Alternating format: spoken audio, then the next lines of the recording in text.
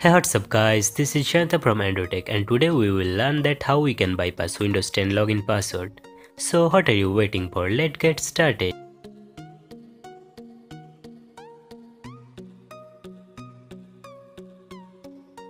First you need to create a bootable USB drive. Next insert your USB drive to your PC and restart your PC and press F12 for the boot menu.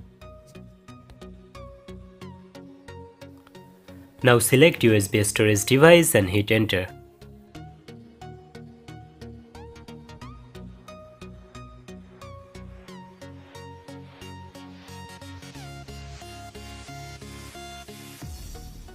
Now click on next, click on repair your computer.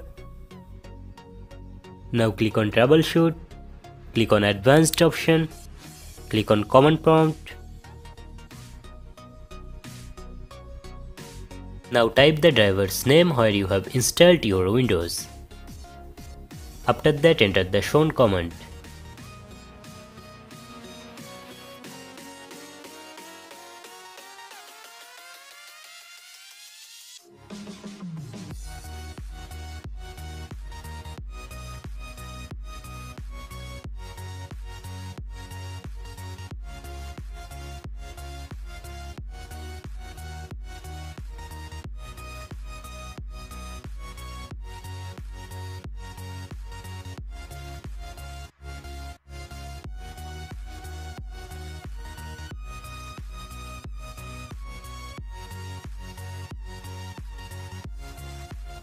Now exit the Windows and continue to Windows 10.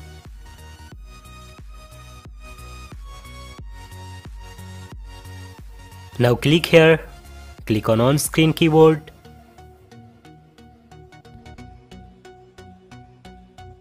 Now type net user and hit enter.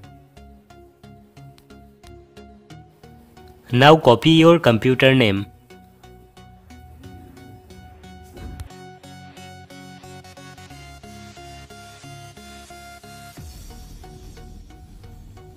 Now type net user,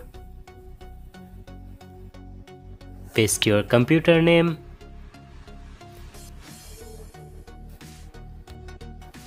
and type star and hit enter. Now hit enter. Now hit enter again. As you can see the command completed successfully. Now just hit enter. As you can see your password changed successfully. If you have any problem regarding this video you can let me know in the comment section below. Also give a thumbs up if you like this video. Well that's me signing off. Thanks for watching and I will see you in the next one.